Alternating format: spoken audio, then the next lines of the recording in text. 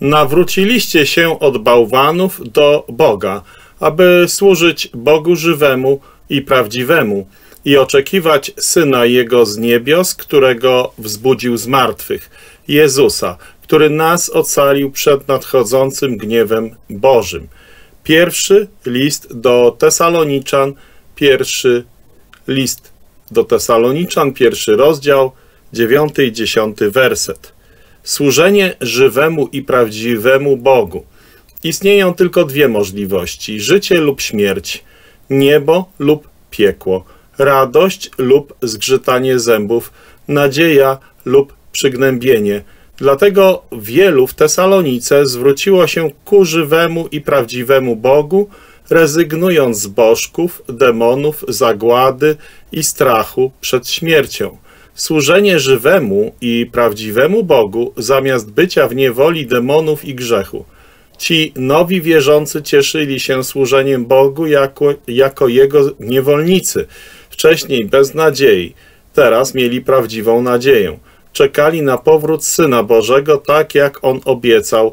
Ich służba jako Bożych niewolników była spontaniczna i oddana. Służenie żywemu Bogu jest radosną rzeczywistością, niewymuszoną, ale wyrażaną z radością pewnej nadziei. W świecie bez nadziei oczekiwali Jego rychłego powrotu, ale w międzyczasie mieli przywi przywilej bycia Jego użytecznymi i oddanymi sługami, służąc prawdziwemu i żywemu Bogu. Również oczekiwali z nadzieją.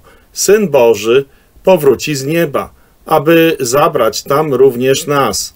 Może dziś. Obiecał to, jak czytamy w 1 Tesaloniczan 4:14 do 18 oraz Filipian 3 rozdział 20-21.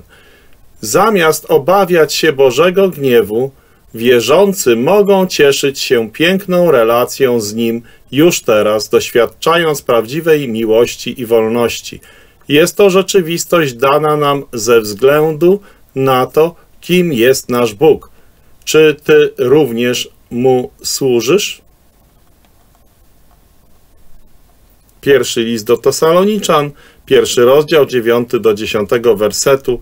Nawróciliście się od bałwanów do Boga, aby służyć Bogu żywemu i prawdziwemu i oczekiwać Syna Jego z niebios, którego wzbudził z martwych, Jezusa, który nas ocalił przed nadchodzącym gniewem Bożym.